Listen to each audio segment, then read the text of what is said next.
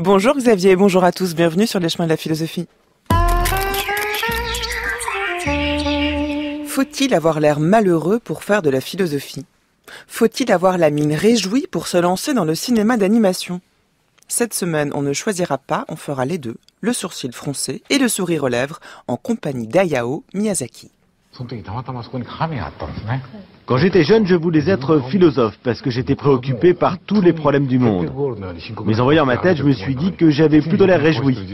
Alors j'ai abandonné la philosophie. Totoro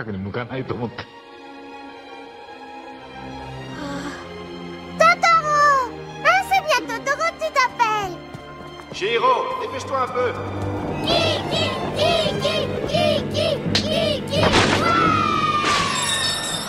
Un château dans le ciel. Voilà, la lessive est faite, nous allons pouvoir y aller. Bonjour Hervé Joubert-Laurencin. Bonjour. Bienvenue sur les chemins de la philosophie.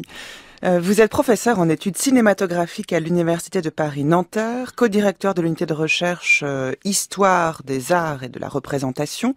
Vous avez écrit un livre qui s'appelle Quatre films de Daihayao Miyazaki, Mon voisin Totoro, Porco Rosso, Le voyage de Chihiro, Pogno sur la falaise. Vous avez dirigé un ouvrage qui paraîtra le 4 mars 2022 dans lequel vous avez écrit un article sur Totoro et c'est avec vous que l'on commence cette nouvelle série autour de quatre films de Miyazaki. Quelle joie, ravi de vous accueillir à nouveau. Vous avez entendu le programme, hein, Totoro, Chihiro, Kiki, Le château dans le ciel, et la voix de Miyazaki qui dit qu'il aurait aimé être philosophe, mais quand il s'est regardé dans le miroir, il s'est dit qu'il avait l'air trop heureux pour être philosophe. Vous en pensez quoi? Bah, je vais essayer de rester joyeux, donc euh, de ne pas être philosophe peut-être. Bah, je ne sais pas, on verra bien. Il a tort de poser les deux en tout cas parce que dans son cinéma justement, et, et toute cette semaine le montrera, il y a de vraies réflexions qu'on peut vraiment qualifier de philosophiques. Ah oui. Et puis il y a du sérieux et, du joyeux, parfois en même temps, peut-être toujours en même temps. Ouais, on verra parce que c'est le cas du film dont nous parlons ce matin, Totoro, qui est sans doute un des films les plus connus de Miyazaki. Racontez-nous Ah oui, certainement, l'histoire. Certainement. Alors, peut-être que Chihiro est le plus euh, planétaire. C'est celui qui a eu le, le- le plus grand succès. et C'est une énormité vraiment.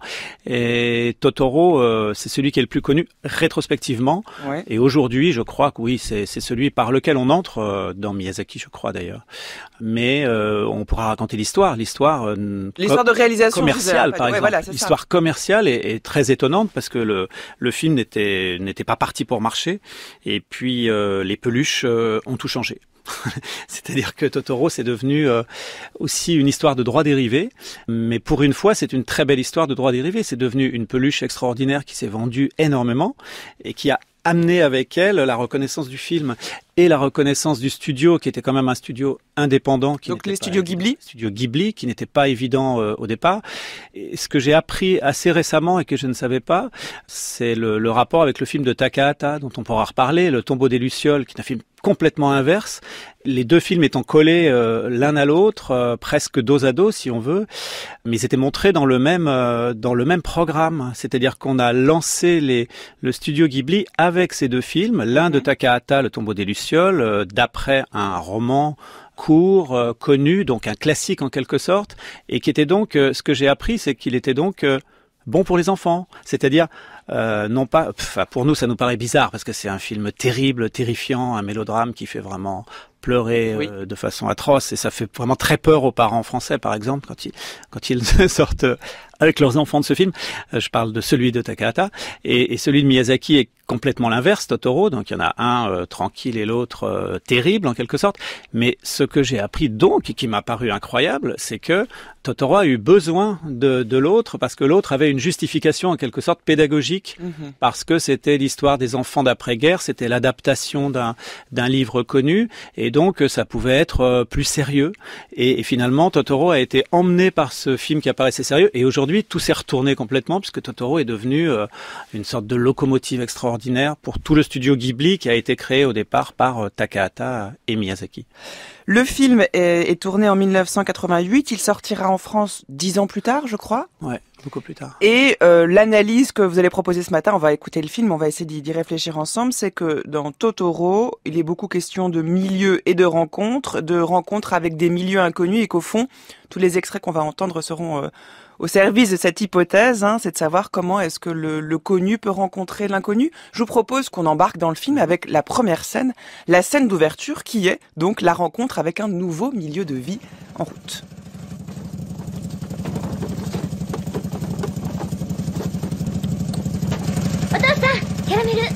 Oh,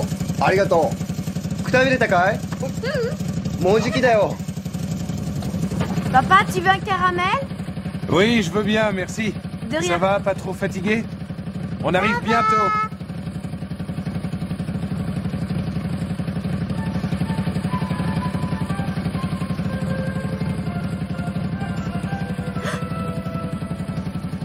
Cache-toi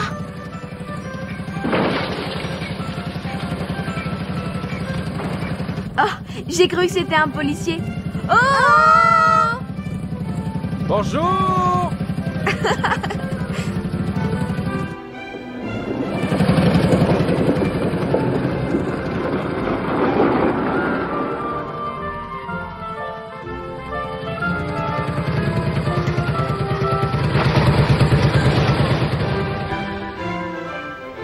Pardon petit, est-ce que tes parents sont là? J'aimerais les voir. Mon père est là-bas. Merci beaucoup. Bien le bonjour Je suis votre nouveau voisin, monsieur Kusakabe. Bonjour, bienvenue dans la région. Merci Merci petit, à bientôt.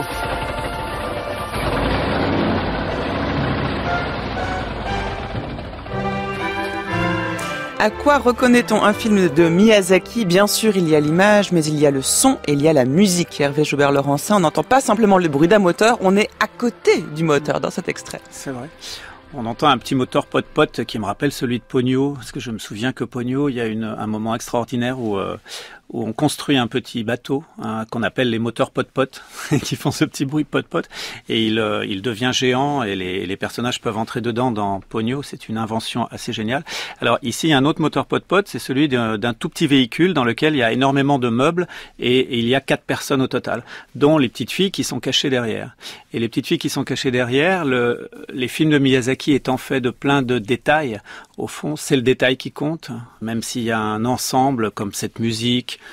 comme euh, la narration euh, qui est très complexe mais en même temps euh, facile à suivre et, et- et complètement euh, signifiante. Euh, Il y a aussi, enfin, ce qui est intéressant, c'est les détails. Et donc la première chose qu'on voit et qu'on a entendu dans le dialogue ici, euh, c'est le caramel. Alors euh, c'est rien du tout quoi, mais on voit les deux petites filles cachées dans le, le- le petit véhicule, en train d'ouvrir. La grande sœur ouvre un- une boîte de bonbons et elle offre un bonbon à sa sœur et ensuite elle en offre à son père. C'est pour ça qu'on l'entend dire Est-ce que tu veux un caramel Alors bon, c'est rien du tout, mais je pense que euh, c'est tout de même euh, comme vraiment ils ont travaillé avec Takahata complètement ensemble avec une partie de, de tout le personnel qui a fait le film, qui a fait le Tombeau des lucioles et qui a fait euh, Totoro. Les studios étaient à côté et mangeaient ensemble en quelque sorte. hein. Et Mhm. donc les deux films sont vraiment très jumeaux. Et donc cette boîte à bonbons qui est quand même un petit détail tout à fait délicieux, très simple, est totalement terrible si on a vu euh, le tombeau des lucioles. Parce que le tombeau, c'est le tombeau de la petite sœur, et le frère est obligé de voir sa sœur mourir de faim à côté de lui dans le tombeau des lucioles. Il l'incinère euh, de façon traditionnelle, Mhm. et mais tout seul. Et donc on le voit euh, dans, dehors comme ça. On voit des petites flamèches qui montent vers le ciel. C'est extrêmement émouvant et extrêmement beau parce que ces petites flamèches font penser justement aux lucioles dont on parle dans le film et puis aussi aux étoiles qui sont dans le ciel et puis aussi aux étoiles qui vont passer dans un Japon moderne au dernier plan. Enfin bref tout ça est, est magnifique. C'est pas du tout larmoyant. Mais il met toutes les petites cendres de sa sœur et comme il dit ces pauvres petits os euh, minuscules dans une boîte euh, de bonbons et c'est celle qu'on qu'un balayeur euh, fait tomber et, et fait s'ouvrir au début du film, parce que au début du film, ça commence par le grand frère qui lui-même est mort comme un mendiant, et quelqu'un fait, fait, un balayeur fait partir sa boîte, la boîte s'ouvre, et là il y a comme des lucioles qui sortent. Donc, Totoro serait le, le- le versant euh, moins tragique oui. euh, du tombeau des lucioles et le- la boîte à caramel La serait boîte le à lien. caramel, pour moi, c'est la boîte qui s'ouvre au tout début de. Donc, c'est une boîte qui ouvre une histoire. Donc, le caramel, c'est le début d'une histoire. Et de même que la petite boîte avec. euh, On ne sait pas encore euh, que ce sont les les, les cendres de l'enfant morte qui montent comme une lumière et, et qui fait le début du film. Donc, on a une sorte de début de narration. Dans mon voisin Totoro, pas de mort, pas de tombeau, une maman malade euh, et donc euh, lointaine, euh, une petite fille qui disparaît temporairement et la rencontre avec un animal dont on ne sait pas s'il existe ou pas. C'est d'abord, et c'est ce que ce, premier extrait raconte, hein, la, une chronique de la vie paysanne dans le Japon de la seconde moitié du XXe siècle. Mhm. C'est le cadre est extrêmement ordinaire. C'est très beau parce que la voiture marche en avant, mais c'est comme si on allait en arrière, c'est comme si on entrait dans le passé. Voilà, c'est un voyage dans le temps. C'est un voyage dans le temps offert aux spectateurs de, de la fin des années 80 et c'est un retour euh, dans un monde comme comme l'a dit Miyazaki, je crois, d'avant la télévision. Mhm. Voilà, c'est-à-dire euh, c'est l'après-guerre, c'est les années 50 et on l'entend dans cette musique qu'on a entendue, on le voit dans les décors qui sont très beaux. Euh, très champêtres, avec des rizières, du verre, beaucoup de verre, comme toujours chez Miyazaki, une présence de la nature envahissante, euh, même quand elle n'envahit pas, même quand elle n'est pas euh, comme dans Mononoke, même, même tant qu'elle n'est pas encore euh, monstrueuse, elle, est déjà très envahissante au sens où elle est partout et on doit se lever à l'intérieur du monde naturel. Et la maison qu'il s'apprête à découvrir, qui est la nouvelle maison dans laquelle le père et les deux filles vont, vont vivre, fait elle-même partie de la nature. On va découvrir qu'elle n'a pas été ouverte depuis bien longtemps et qu'à l'intérieur se trouve bah, la, première rencontre avec des animaux, des choses bizarres qu'on appelle les noireaux. D'écouter, c'est au moment où les deux petites filles qui découvrent la maison ouvrent une porte qui va se révéler être la pièce du bain traditionnel, la salle de bain, et qui est occupée par ses habitants étranges. Bien écouté. これ、どこへ運びますあ、ここへ今開けます。Satsuki, va ouvrir la porte de derrière. Ah ah. Allez, dépêche-toi. Mmh. Attends-moi Attends Attends, attends-moi Tu peux pas m'attraper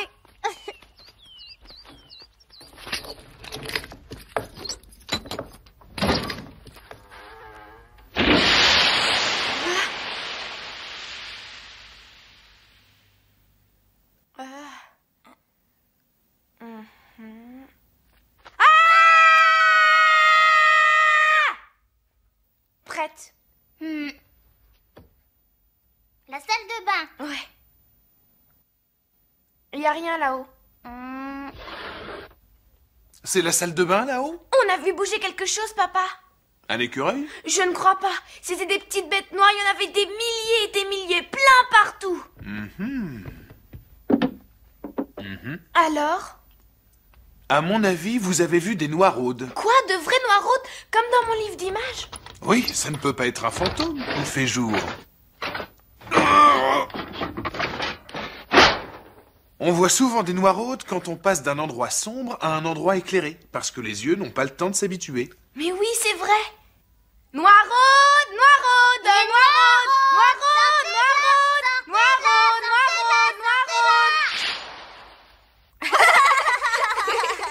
Il y a toujours une réflexion sur la vie domestique dans les films de Miyazaki. Il y a souvent question d'un déménagement, ou euh, de la difficulté de rentrer chez soi, ou tout simplement d'y vivre. Ici, les Noiraudes viennent signaler le caractère euh, d'étrangeté que deux petites filles qui s'apprêtent à vivre dans une nouvelle maison peuvent ressentir. Vous avez entendu ce bruit, hein, c'est comme un, comment le décrire, ouais, un, ouche. Un, petit courant d'air comme ça. À l'écran, ça ressemble à quoi? Comme des espèces de bêtes noires avec des poils? De boules, bah, toutes petites boules noires? oui, ce qui est très curieux, c'est que c'est comme trouver une, vieille maison qui est pleine de vermine. C'est-à-dire que la pièce, pendant un quart de seconde, on la voit entièrement noire du sol au plafond. Et avec ce whoosh, on voit partir immédiatement des milliers, comme le disent les, les petites filles, des milliers de petites bêtes noires euh, qui s'en vont.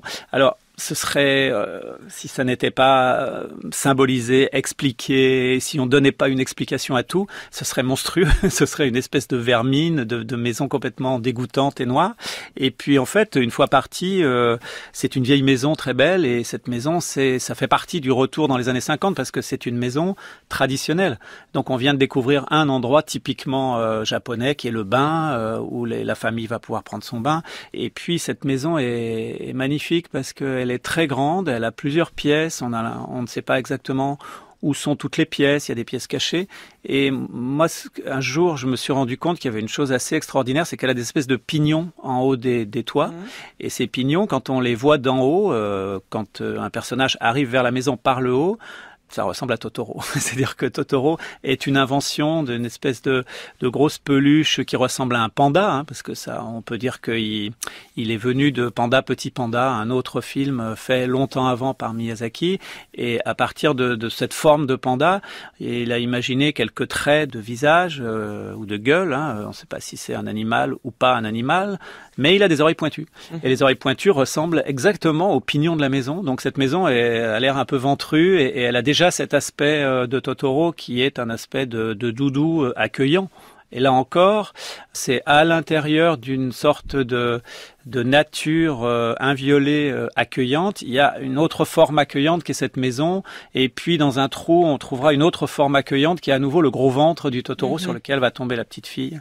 Donc tout ça est une sorte de jeu de boîte là aussi, euh, un peu comme dans les comme dans les lucioles euh, où, où il y avait un jeu de boîte. Le Japon était de plus en plus euh, fermé sur lui-même euh, et c'était donc des, plutôt politiquement et historiquement que tout était refermé de boîte en boîte. Et là, c'est de boîte en boîte aussi, mais sauf que c'est des boîtes douces, bah, comme le chabus va être Ouais. très doux par la suite hein, et très euh, reposant et, et inviolé en quelque sorte. D'ailleurs, c'est ce qu'on retrouve à l'intérieur de la maison elle-même. On a entendu les filles ouvrir la porte de la salle de bain. Chaque chambre semble signifier quelque chose. Il y en a où il y a beaucoup de lumière, il y en a qui sont beaucoup plus obscures, comme c'était une métaphore du film lui-même. Comme elle dit, c'est un passage du. Peut-être que c'est seulement une illusion d'optique. Les petites bêtes, les petites bêtes, on peut leur donner une explication vraiment très rationnelle et de terre, comme je disais, de, de la vermine après tout, pourquoi Mhm. pas. On peut leur donner une explication complètement euh, extraordinaire. euh, ce sont des dieux ou ce sont des, des habitants de la maison comme des sortes de fantômes euh, dans la journée. Et puis, euh, on peut dire aussi que c'est encore entre les deux, c'est complètement cinématographique, sont des illusions d'optique au fond. D'où l'explication de quand on tout d'un coup on, on est dans une grande lumière et puis on voit un endroit très sombre et tout d'un coup on voit des on voit des choses. Donc euh, ce qui est intéressant là-dedans, c'est que bah, je crois que la première chose euh, forte là-dedans, c'est qu'il faut croire à l'invisible, c'est-à-dire que euh, il faut croire que l'invisible peut être visible. Enfin, sinon on s'intéresse pas au cinéma d'ailleurs. Le cinéma n'est fait que de visible et d'invisible. Il n'y a pas de champ sans hors champ, donc euh, ça en fait complètement partie. Et puis, je crois que ça veut dire aussi ce, ce moment initial de la découverte, c'est qu'il faut aiguiser ses sens. C'est-à-dire qu'on on, on suppose un spectateur qui doit être attentif à tout. Voilà. Donc c'est aussi une, une façon de de dire à son spectateur que tout va être important, qu'il faut écouter et voir euh, tout ce qui se passe. Donc, euh, écouter et voir un film, mais c'est une leçon pour écouter et voir le monde, euh, le Mhm. monde autour de soi. On va suivre la petite May, 4 ans, hein, qui va la, donc la, la plus jeune des, des filles, qui va explorer la maison, enfin la nature autour de la maison. Et alors on va la voir se pencher sur une espèce de, de trou d'eau pour observer des têtards. À ce moment-là, quelque chose va bouger dans l'herbe.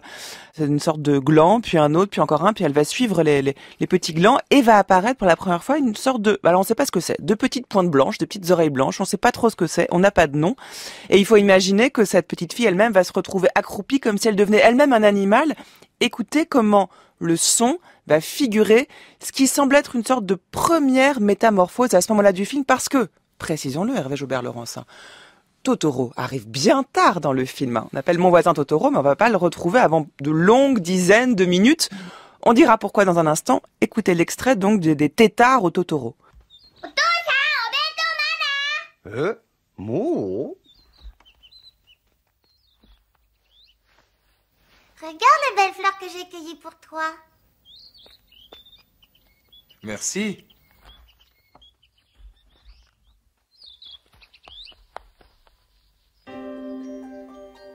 Oh, des petits tétards. Hmm.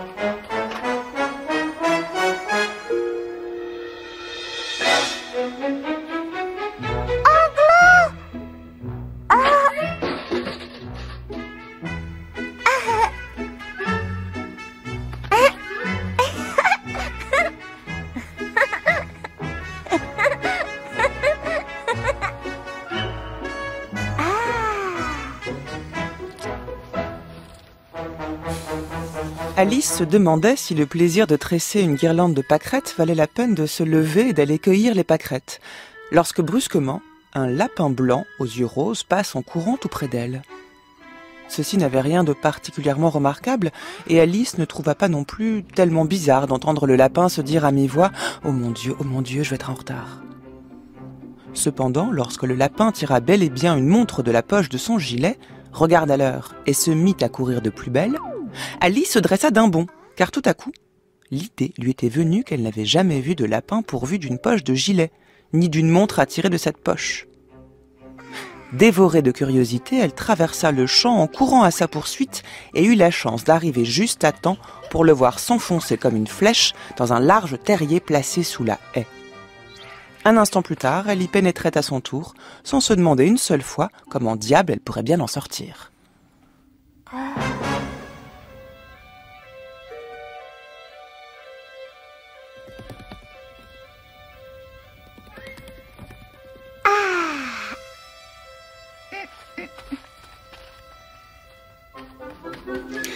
Quand mon voisin Totoro rencontre Alice au pays des merveilles, c'est sur France Culture, les chemins de la philosophie. Vous venez d'entendre un extrait donc de Mon voisin Totoro, le film qui nous accompagne ce matin pour le premier temps de notre série d'émissions autour du cinéma d'Ayao Miyazaki.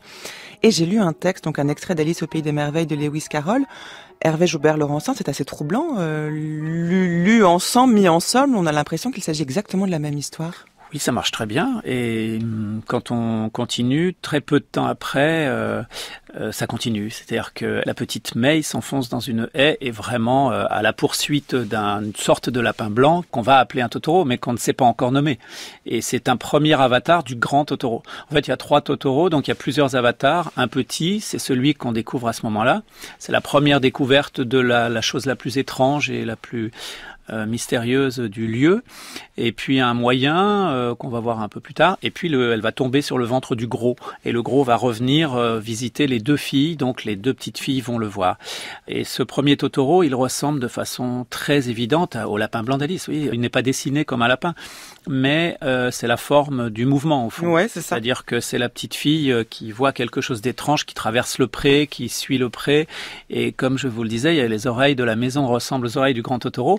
Et là, ce petit Totoro, mais bon, c'est peut-être un peu toujours le même, le Totoro, se voit par les oreilles. C'est-à-dire que la première fois qu'on le voit, c'est dans l'herbe deux petites pointes triangulaires qui, on s'aperçoit au bout d'un moment que ce sont des oreilles euh, d'une marche. Donc là, on est vraiment dans le cartoon, c'est comme le dessin animé euh, classique. C'est-à-dire que une des grandes aventures du, du dessin animé classique qu'on appelle le cartoon, c'est de montrer des gens en train de marcher ou en train de courir. Et comment les gens marchent, comment les humains ont toujours un petit boitement, comment euh, un animal euh, marche d'une certaine manière, saute d'une certaine manière. Le Tex Avery, quoi. Alors Tex Avery et tous les autres, mais oui, Tex Avery fait courir plus vite et ça explose plus. Mais, mais bien sûr, Tex Avery et tous les autres euh, font marcher les gens. Et là, on a ce petit jeu magnifique de deux marches, la marche de la petite fille de 4 ans, la marche du petit Totoro, donc euh, on ne sait pas très bien comment le nommer, mmh. ni comment il, euh, il marche. Il marche un peu en se dandinant. Il ressemble un peu à des oies, je dirais, hein, mais tout petit.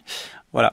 Et elle se retrouve. Euh, alors il y a une chose que j'aime énormément que que j'avais appelé le le visage végétalisé de, de, May, parce que pendant un quart de seconde, May essaye de poursuivre le, le Totoro dans un bosquet et finalement euh, bah, il n'y a pas de place. Donc il est passé magiquement à l'intérieur puisqu'il devient visible facilement mais pas elle. Donc elle avec son corps d'humain bien dur, elle se fiche dans les arbres et pendant un instant on voit son visage qui n'a plus de traits ni humains ni inhumains, elles sont seulement des feuilles. Donc elle a un visage entièrement végétalisé. Elle est devenue entièrement végétalisée. C'est une des mille manières de, de mettre les, les humains en relation avec, le, avec les plantes au fond. Et il y en a bien d'autres dans le film. Et voilà, c'est un jeu de miroir avec la nature en quelque sorte. Hein. On mm. parlait d'Alice, mais ça se passe moins comme dans Alice euh, de l'autre côté du miroir, hein, Through the Looking Glass. C'est plutôt la première Alice, la, la, la première qui avait écrite Carol, c'est-à-dire Alice's Adventures underground, c'est qui va dans une sorte de puits et qui descend dans un terrier, quoi, qui suit mm. le terrier et qui tombe dans un puits. Et là, c'est exactement ce qui se passe. Elle, se, elle se retrouve dans le trou en dessous du grand arbre qui va les protéger, qui est le grand camphrier. Et le père va ensuite expliquer que euh, voilà, c'est un dieu en quelque sorte, c'est un esprit du lieu, un Camille, et qu'on peut lui dire merci euh, de nous de nous aimer, de nous de nous ménager euh, et de, de, vivre en bonne intelligence avec lui. Et euh, le, de même que le lapin d'Alice va rentrer dans un terrier, donc May va rentrer dans son tunnel végétal. Il y aura un chat, le chabus de Totoro fait écho au chat des pays des, des... de Cheshire. Voilà, c'est le chat qui n'a plus que son sourire. Là, on a une citation très exacte à la fin du film. C'est-à-dire que le chat Bus a amené les petites filles pour voir ses, ses, sa mère à l'hôpital mmh. à la fin du film, et elles apparaissent et elles disparaissent. Elles sont invisibles aux yeux des parents, visibles aux yeux du spectateur, et donc il y a cet effet d'apparition et de disparition du chat Bus qui est très exactement une citation du chat du Cheshire, le, le sourire du chat du Cheshire dans, dans Alice, ou qui n'a plus que son sourire. Il n'y a plus de chat, il n'y a plus que le sourire du chat. Alors la question est de savoir pourquoi est-ce que le, le gros Totoro apparaît si tard dans le film. D'ailleurs, euh, je crois que Miyazaki lui-même était inquiet de, de cette apparition tardive jusqu'à ce qu'on lui rappelle que bah, dans E.T., l'extraterrestre arrivait extrêmement tard aussi, que ça n'avait pas nuit au succès du film, donc finalement il s'est dit qu'il pouvait assumer ça.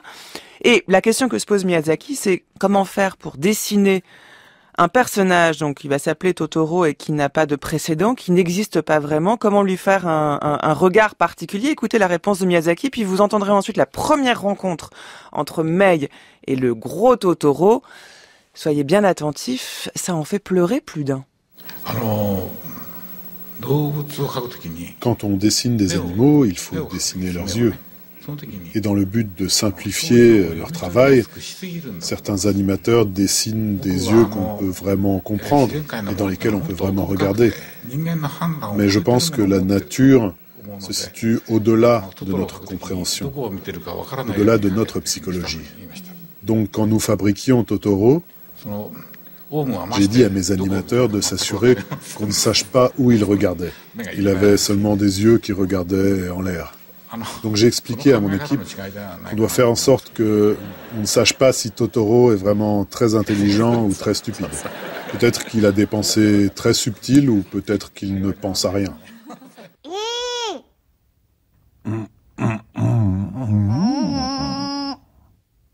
Dis-moi, comment tu t'appelles? Est-ce que t'es une grosse noiraude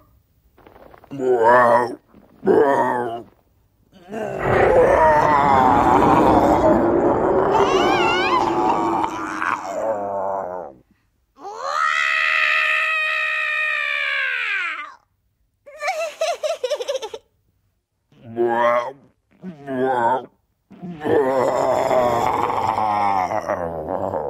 compris. Totoro Ah, c'est bien Totoro que tu t'appelles T'es un vrai gros Totoro hmm. Totoro. Alors, est-ce que vous aussi, vous, vous, vous, pleurez en regardant cette scène, Hervé Joubert-Laurencin Pas, pas celle-là, non. Moi, c'est plutôt quand la petite fille se perd et qu'on la retrouve ensuite que ça m'émeut, mais là, il y a quelque chose qui se passe, en tout cas, dans cette rencontre. Dites-nous, qu'est-ce que ça veut dire Totoro, déjà? Oh, Totoro, il semble que ça vienne d'un mot qui désigne les, les, les, elfes ou les petits personnages et qui se prononce presque Totoro, mais pas exactement Totoro, je crois. Et, et la petite fille euh, se trompe et alors on invente, on invente ce mot. Donc c'est un néologisme. Oui. Euh, mais moi, je pleure beaucoup au cinéma. Enfin, je pleure assez souvent, mais non, je pleure pas à Totoro. Ah, pas du tout. Le tombeau des lucioles me fait euh, me fait tomber des litres d'eau. Hein. Je me souviens d'expériences très difficiles où où je devais parler après avec un public euh, et j'avais vu le film avec eux au premier rang. J'essayais d'arrêter les sanglots. mais Totoro, non, Totoro est très très joyeux. Hein. Euh, Shiro me fait très très peur, par exemple le début de Shiro me fait très ouais. très peur, c'est extrêmement angoissant. Et Totoro euh, est à peu près le contraire. Il y a un côté doudou, oui, mais c'est d'autant mm. plus inquiétant quand justement la, la, petite fille disparaît. On va ah, y venir. Oui, Commentons cette rencontre entre Mei et le, et le gros Totoro. Où sommes-nous et que se passe-t-il? On a entendu des espèces de borborigmes. Mm. D'ailleurs, il ne dira rien d'autre. Hein. Comment se passe cette rencontre? Oh ben, elle est tombée sur lui d'abord, donc euh, c'est un peu un enfant qui joue. Euh, elle tombe sur un ventre et elle rebondit sur un ventre doux, voilà. Et donc elle se retrouve nez à nez, si on peut dire, avec euh, Totoro. Et, et là, euh, c'est plutôt bouche à bouche. Et plusieurs fois dans le film, c'est un peu comme dans, on voit ça aussi dans Porco Rosso de temps en temps, on retrouve cette manière de dessiner des grands yeux euh, qui se dilatent et aussi des bouches qui se dilatent euh, démesurément, où on voit des énormes dents, y compris de la petite fille, et, qui est quelque chose de très particulier. Enfin, c'est un, ça fait partie du folklore des, des animés japonais. Hein, ça, ça fait partie du folklore de ce cartoon très particulier qui sont les dessins animés japonais à partir des années 60-70, où on a beaucoup représenté des bouches énormes, des cris, une espèce d'exaltation comme ça. Et alors on le retrouve euh, euh, parsemé de temps en temps dans les films de Miyazaki, qui lui a quand même un style qui se différencie de, de, de ce de, de, ce mode de dessiner et d'animer surtout, mais il le distille à des moments qui, qui sont très importants. Donc le moment du cri, euh, il est signifié par le dessin à ce moment-là précisément par une ouverture d'une bouche gigantesque. Donc on a là, c'est là que c'est là que ça devient très, de nouveau très intéressant et très très très suivi. C'est-à-dire que tout est en miroir. Donc euh, les, les, les humains sont en miroir de la nature et là en l'occurrence avec les personnages, on a la petite May qui est exactement en miroir du, du gros Totoro, alors qu'ils sont euh, radicalement opposés. Elle est minuscule et il est immense, mais il ouvre cette bouche pour faire ce cri particulier. Je me souviens d'avoir promis un jour à, une éditrice de faire un livre sur le cri de Totoro, mais je suis pas sûr d'y arriver un jour. Mais je, trouve que c'est comme le cri de Tarzan euh, et comme le, cri du lion de la MGM, c'est des choses extraordinaires qui sont fabriquées. C'est-à-dire c'est des cris non humains où il y a de l'humain, de la voix humaine, il y a du vent. Euh, donc c'est Ghibli qui passe. Le Ghibli ça, veut, ça, désigne un vent, hein, un, vent de sirocco euh, en italien et, du coup c'est passé, euh, c'est devenu le titre de le, nom du studio euh, de Miyazaki et Takahata. Mais donc il y a un vent, il y a toujours du vent chez Miyazaki. Mmh. Et là on a un vent qui passe directement dans la voix. On a du cri, on a de, de la musique qui devient qui devient du son. Bon tout ça est très passionnant et ça passe par cette bouche ouverte comme un four et la petite fille crie avec son petit cri, mais elle a la, même bouche énorme qu'on retrouve et qu'ensuite elle dessine quand elle est à l'école et qu'elle vient coller à sa grande sœur jusqu'à se faire admettre dans, dans l'école des grands. Et là, elle commence à dessiner le Totoro avec une bouche immense et des dents immenses. Et où sont-ils à ce moment-là? Sont des espèces de, de tanières végétales Oui, une sorte de terrier. c'est le terrier du lapin blanc. Oui, oui. Ils sont vraiment euh, en, dans un souterrain et, et après euh, c'est un labyrinthe, c'est-à-dire qu'il y a une entrée, une sortie, mais on ne sait pas très bien parce que la porte va se refermer ou alors le trou va se refermer. Ah, est-ce que c'est matriciel? Est-ce que c'est maternel? Sans doute. Est-ce que c'est monstrueux? Sans doute aussi. Euh, c'est dans le, entre les racines de l'arbre géant. Euh, on y entre, mais on ne peut plus y entrer après quand ça s'est refermé. On ne retrouve plus le lieu de l'entrée. Euh, et puis quand euh, on, essaye de, retrouver le chemin, bah, on se retrouve dehors comme dans un labyrinthe. Et il y a donc un mystère, un accès à cet antre de Totoro seulement par la petite fille et qui mm. n'est plus reproductible par, euh, par les grands. D'ailleurs, lorsque celle-ci va vouloir euh, ramener son père et Satsuki et sa grande sœur euh, sur le chemin pour retrouver le Totoro, ils se retrouveront nez à nez avec un arbre, le camphrier, et ce sera l'occasion pour le père de raconter ce que c'est que le camphrier et quelle est la place de, de, de la forêt dans l'imaginaire japonais. C'est ce que dit Miyazaki lorsqu'il parle de la forêt dans le film Totoro, et puis vous entendrez ensuite l'extrait de la rencontre avec le camphrier cette fois-ci. À l'origine de la création de Totoro, il y avait la volonté de ma part de parler de la forêt. Pour moi, la forêt, c'est un véritable être vivant. Mais pour incarner cette forêt, un arbre qui marche, ce n'est pas franchement la meilleure idée.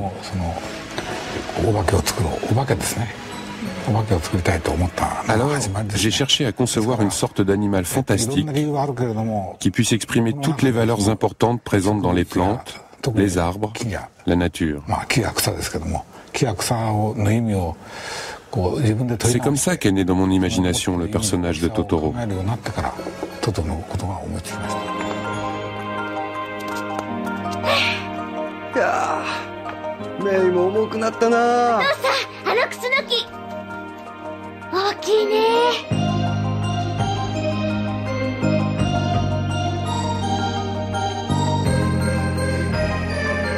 C'était là T'en es sûr Oui Qu'est-ce que tu attends, papa? Dépêche-toi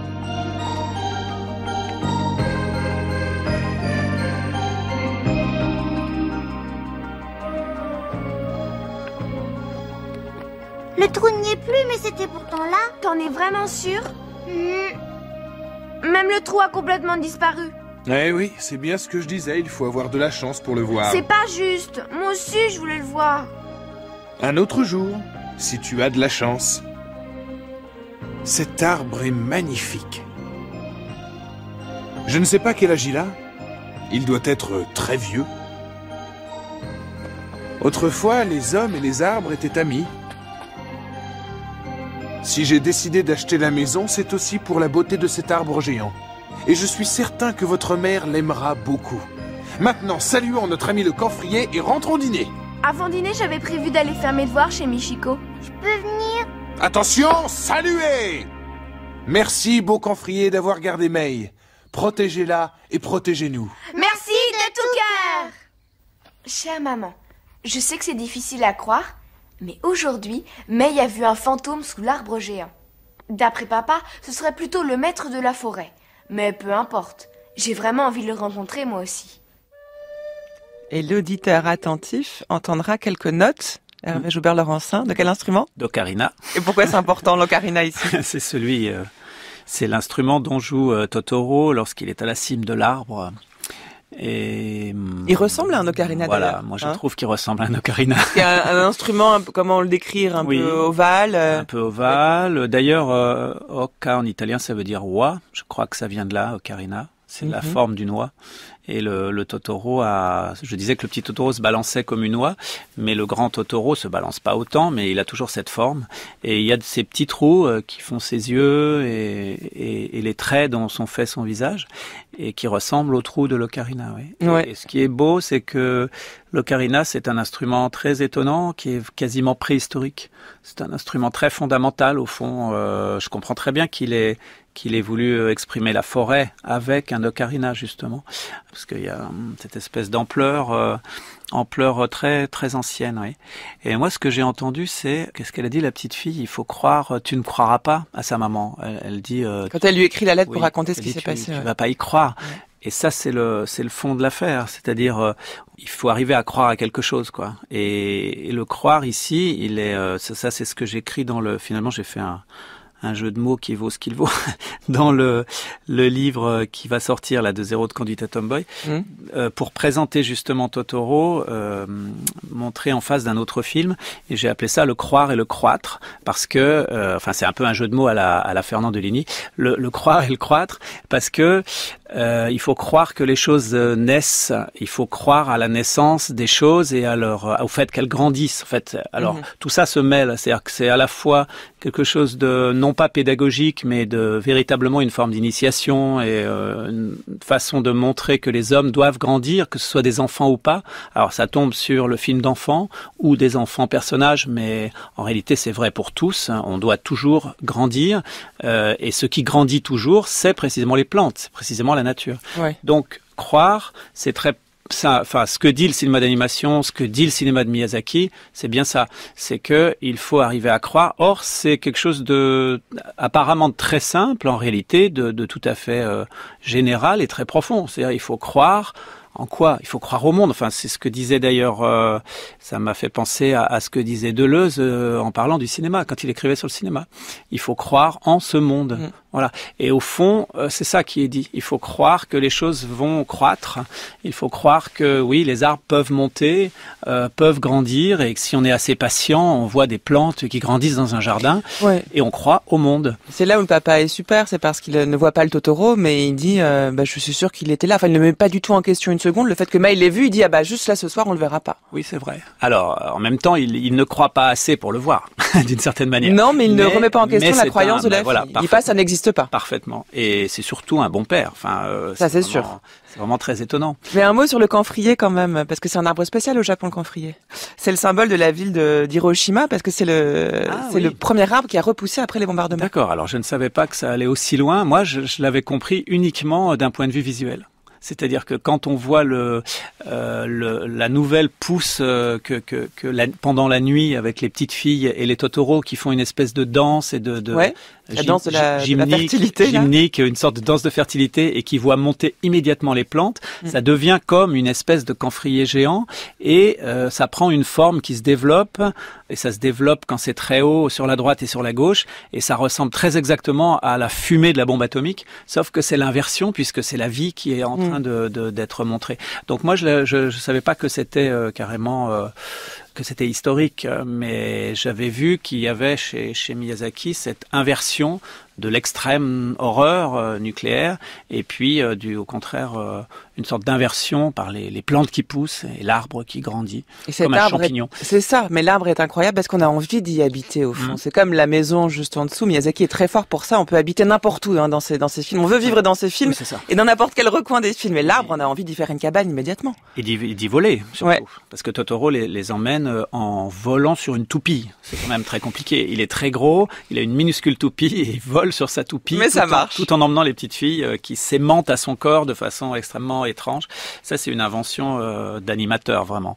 Alors, où voulez-vous aller, Hervé Joubert, Laurencin, puisqu'on a envie de vivre dans ce film Il nous reste encore hein, du, du, temps pour en parler. Est-ce que vous voulez aller sous la pluie avec Totoro euh, pour assister à un échange d'objets de mondes différents Ou est-ce que vous voulez aller danser, faire la danse rituelle de la, de la fertilité? Ah, Peut-être on va aller sous la pluie, non? Allez,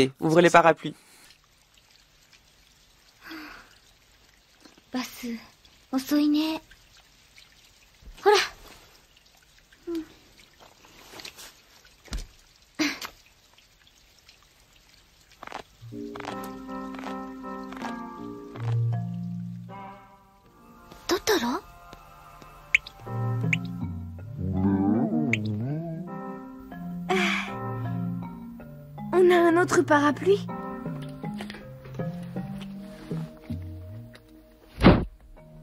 Tiens, je te le prête. Ça se met comme ça, au-dessus de la tête.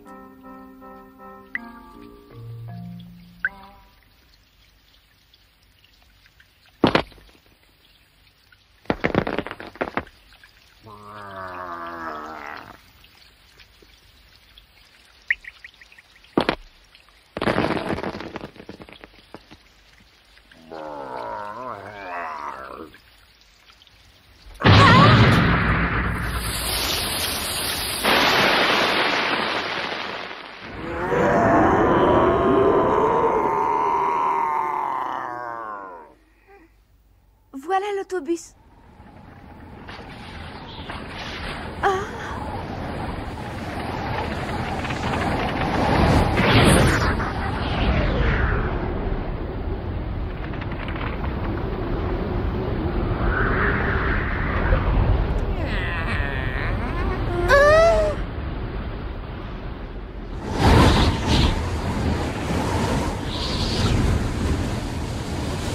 On entend bien que le bus a quelque chose de particulier, hein, sa manière d'arriver. Il fait un bruit qui ne ressemble pas à un moteur euh, de bus.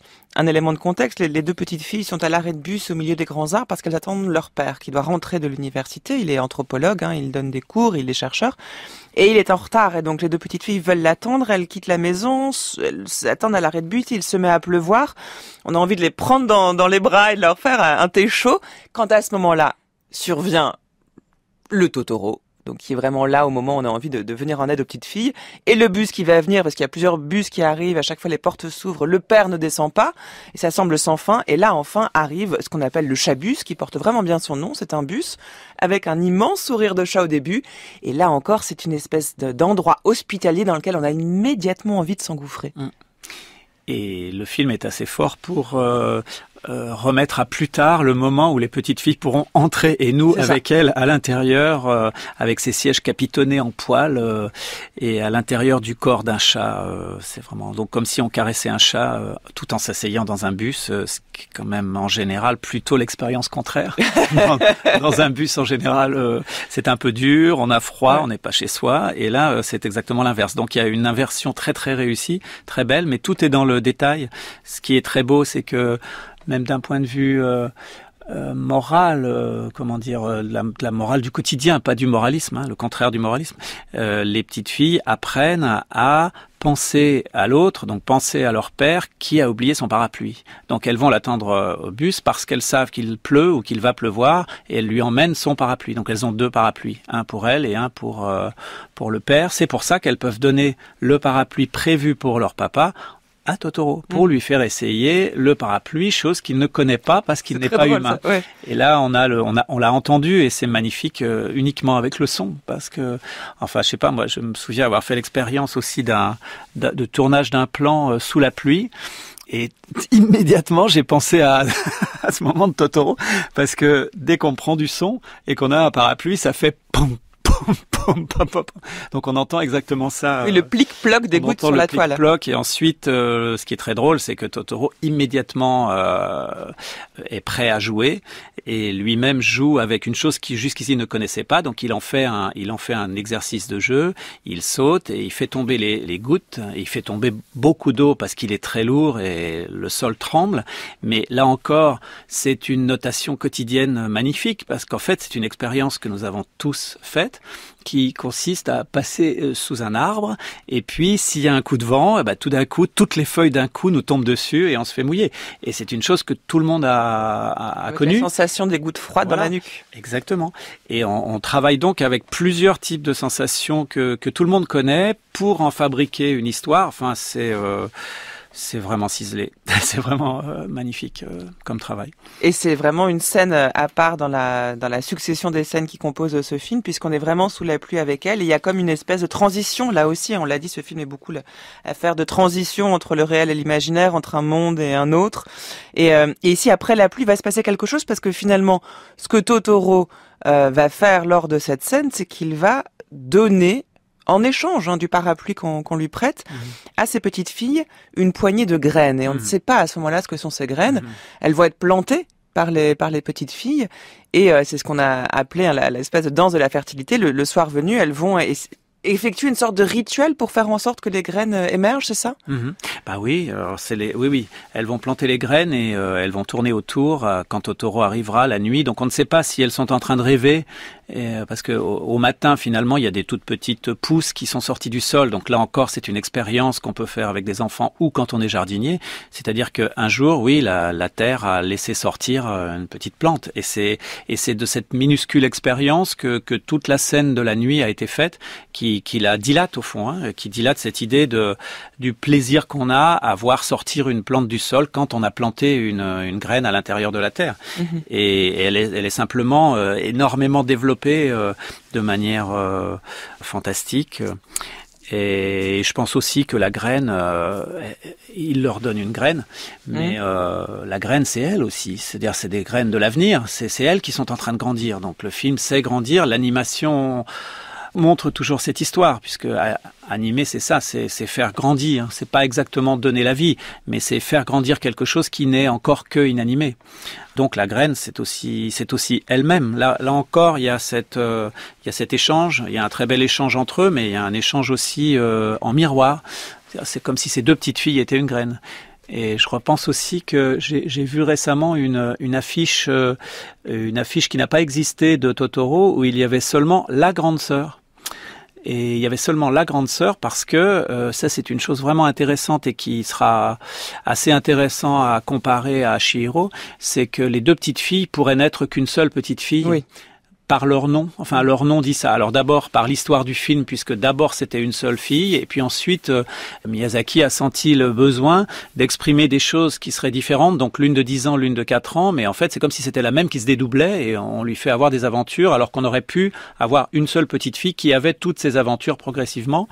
Et on le sait par leur, euh, leur prénom, puisque l'une s'appelle Satsuki, qui veut dire euh, mai, le mois de mai en japonais, tandis que l'autre s'appelle Mei, par imitation de May en anglais, qui veut dire mai aussi. Ah. Donc elle porte le même nom, qui est un nom de printemps, là aussi, c'est-à-dire le moment où aussi euh, toute la nature est en train de, de grandir. Et euh, le fait qu'elle porte les deux mêmes noms fait que on a une sorte de personnage double ou dédoublé, ce qui est une histoire magnifique parce que bon, ça, ça, ça rejaillira sur le nom de Sen et Chihiro, hein, puisque dans, dans Chihiro, il y a ce jeu avec le spectateur dans le titre Sento Chihiro no Kamikakushi qui veut dire euh, la, la, mystérieuse disparition de Sen et Chihiro. Oui, alors qu'en français, on n'a qu'un seul nom. Voilà, comme s'il y avait deux petites filles, mais, mais c'est un piège puisqu'il n'y a qu'une seule petite fille, Shihiro, qui devient Sen, qui change de nom. Et donc, on a toujours euh, une seule personne dédoublée en deux. Donc là, on a une skise qui est vraiment très intéressante parce qu'elle a rien à voir avec la schizophrénie. C'est la schise en fait complètement traditionnelle des grands récits. C'est, c'est picaresque. C'est, c'est, c'est Don Quichotte et Sancho Panza quoi. Et donc les, les, personnages sont toujours dédoublés. Il y a le grand, le petit. Euh, ils partent ensemble, mais en fait c'est le même, euh, c'est la même histoire. Donc c'est, c'est vraiment, ça entre dans les grands récits euh, avec cette espèce de ouais de ski moi j'appellerais ça une skise picaresque quoi. c'est qui vient de qui vient de qui vient de cette idée qu'il faut vivre toutes les aventures, euh, peut-être à travers plusieurs corps, mais ce sera toujours le même, euh, le même être. Ce qui fait une très bonne transition pour demain, puisqu'on se retrouve demain pour parler du voyage de Shihiro. Ah oui, demain on parle de Shihiro. Et au fond, je me, ça, me, ça me fait revenir à la mémoire beaucoup de choses. Euh, en fait, ça passe par Pasolini. C'est Pasolini qui, euh, qui, qui, connaissait tellement les grands récits, qui était un tel narrateur, qu'il il a fait un, un, un, dernier roman dans sa vie qui euh, reprend justement Don Quichotte et Sancho Panza en prenant un personnage qui se coupe en deux. Euh, et, donc il l'explique très bien. Il explique qu'on a étudié euh, Sancho Panza et Don Quichotte de cette manière-là. Et c'est magnifique parce que c'est une forme de récit. Et je vois que je, suis ravi que Miyazaki, euh, par intuition, je pense, euh, est entré dans cette forme de récit euh, très très fort. De manière beaucoup plus prosaïque, mais avant demain, parlons d'une dernière chose. On mange beaucoup dans les films de Miyazaki. Alors demain, le voyage de Shiro, on va énormément manger au début. Surtout, les, parents. et ils vont en payer le prix cher. Euh, Peut-être connaissez-vous le livre Les recettes des films du studio Ghibli aux éditions Inis. Et donc on trouve toutes les recettes dans les films euh, dont on parle cette semaine. Et donc pour mon voisin Totoro, on a la recette d'un bento, puisqu'effectivement, mmh. c'est vrai que les petites filles euh, vont manger un bento. Ils font à manger du riz. C'est souvent appétissant. Euh, c'est très. On a toujours Miyazaki. envie de manger quand on regarde les films de Miyazaki. Donc là, il est, il est bientôt 11 heures. Vous avez peut-être faim. Voilà, niveau de difficulté, c'est deux noiraudes. Donc je pense qu'on va, on va y arriver. 40 minutes de préparation. Je vous laisse découvrir le livre. C'est aux éditions Inis et on se quitte donc avec la toute fin du film de Totoro et la chanson finale qui vous restera dans la tête toute la journée. Mais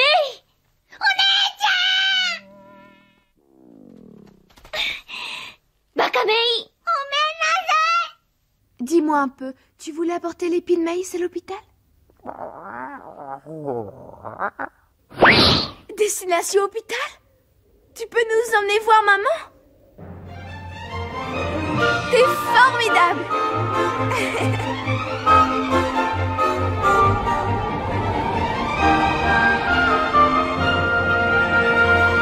Je suis désolée.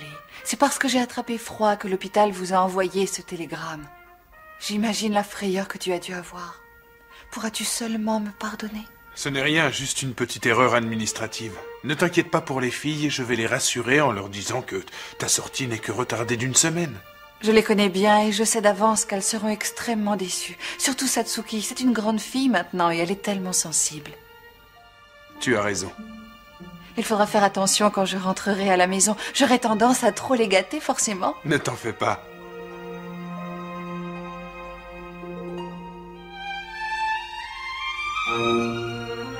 Tu as vu maman souris Elle n'a pas l'air trop mal en point. Non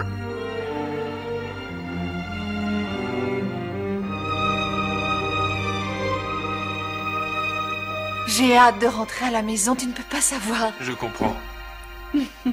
oh Un épi de maïs Oh C'est bizarre.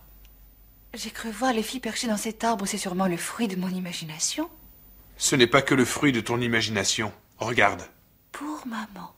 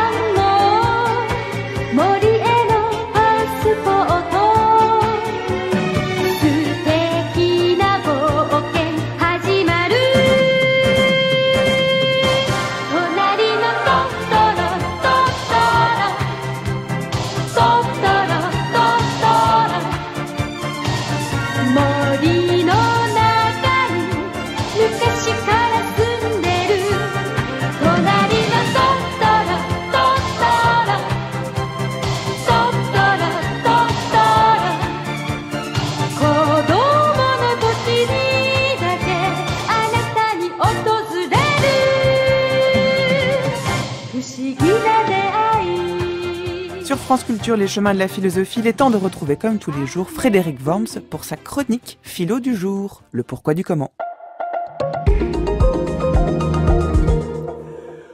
Pourquoi la guerre serait-elle naturelle? La guerre est bien sûr, au sens strict, un phénomène humain et un phénomène politique. On peut même dire très précisément que la guerre est ce que les humains cherchent à éviter par la politique. Les humains recherchant finalement avant tout à construire euh, des sociétés qui évitent ce risque majeur et qui construisent son contraire, ce qu'on appelle la paix mais justement le retour permanent de la guerre, ou du moins du risque de la guerre, et parfois de son éclatement, et jusque quand la paix paraît à peu près garantie, comme aujourd'hui où la guerre semble renaître de partout, ne témoigne-t-il pas ce retour de quelque chose de plus profond dans la guerre, de son appartenance invincible à la nature humaine? C'est ce qu'on craint, c'est ce qu'ont exprimé beaucoup de philosophes, de penseurs et de poètes après la Première Guerre mondiale, ce massacre apparu dans un état de civilisation et de progrès qui paraissait sans fin. C'est pourquoi Paul Valéry disait après la Première Guerre mondiale que les civilisations sont mortelles.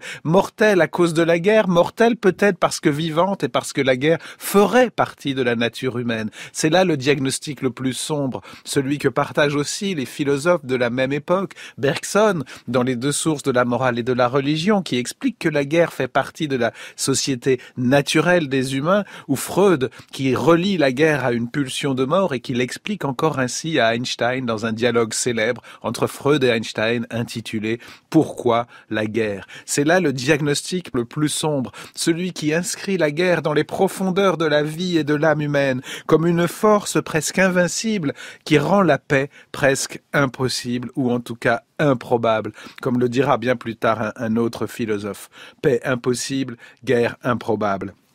Eh bien, cette supposition, la pire pourtant, n'est peut-être pas la plus inévitable et il y a d'autres hypothèses sur le lien de la guerre et de la nature. Même l'hypothèse que l'on croit la plus terrible, qui est moins terrible que cette force vitale, l'hypothèse de ce que, ce qui est resté célèbre sous le nom de l'état de nature, de la guerre de tous contre tous, par exemple, dans ce qu'on appelle le droit naturel moderne, est bien moins terrible encore que cette force vitale invincible. Pour des auteurs comme Hobbes ou comme Rousseau ou comme Spinoza d'ailleurs au XVIIe et au XVIIIe siècle, l'état de nature est bien cette guerre de tous contre tous mais c'est de chaque être humain considéré comme un sujet rationnel et politique avec un droit naturel. Alors bien sûr, ils se font la guerre, mais ils construisent aussi un État pour l'éviter.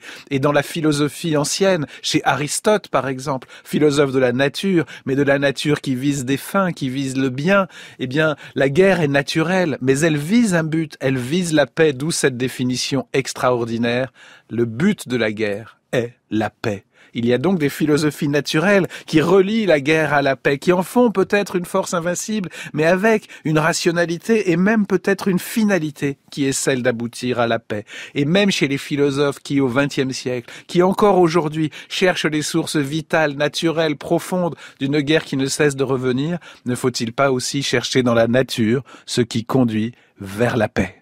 Merci beaucoup Frédéric Worms. Votre chronique est à réécouter en ligne sur le site des chemins de la philosophie et à télécharger, à podcaster via l'application Radio France.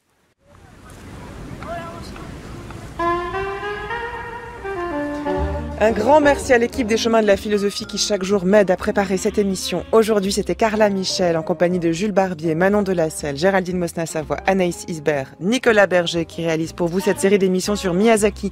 À la prise de son, c'était Clara Gallivel. On se retrouve demain pour la suite de notre série sur Miyazaki, toujours en compagnie d'Hervé Joubert Laurencin. Cette fois-ci, on parlera du voyage de Shihiro. D'ici là, pour réécouter cette émission, rendez-vous sur le site de France Culture, page des chemins de la philosophie. Et rendez-vous aussi en podcast, en téléchargement grâce à l'application Radio France notamment qui vous permet d'écouter cette émission où vous voulez et quand vous voulez. Rendez-vous également sur les réseaux sociaux, Facebook, Twitter, Instagram. Nous mettons en ligne quotidiennement l'émission du jour et on est toujours ravis de lire vos commentaires et de répondre à vos questions. À demain, 10h. D'ici là, restez à l'écoute sur France Culture.